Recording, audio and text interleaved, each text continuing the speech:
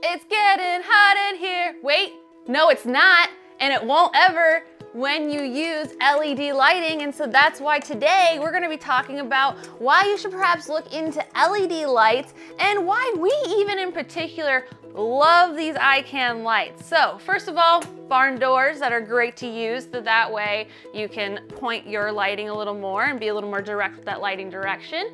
As you can see, it just simply turns on with a little flip of the switch on the back.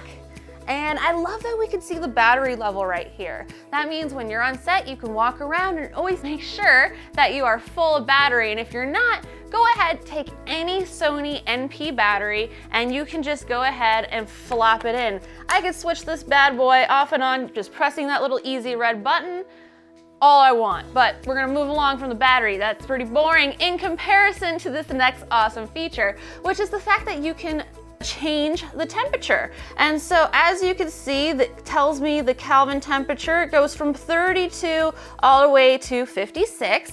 That way you can punch right in in your camera. Your camera and your lighting can be in perfect harmony communicating together and you know exactly what that lighting temperature is. And so go ahead and you can adjust to whatever mood you're looking for. I could plug it in if I really wanted to, if I didn't want to have the battery. It's nice just to be really versatile. And so that way we can have the perfect color temperature, we can make sure we can move around, we don't have to worry about gaffing everything down all the time. It's lightweight and once again, being an LED, it's not going to get hot.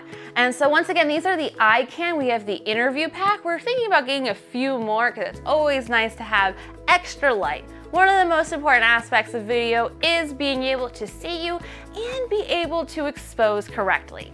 So I hope this helps you with some of your own video marketing this weekend. Please reach out to us via Patreon if you want to learn more and want to connect directly with us. And as always, stay engaging.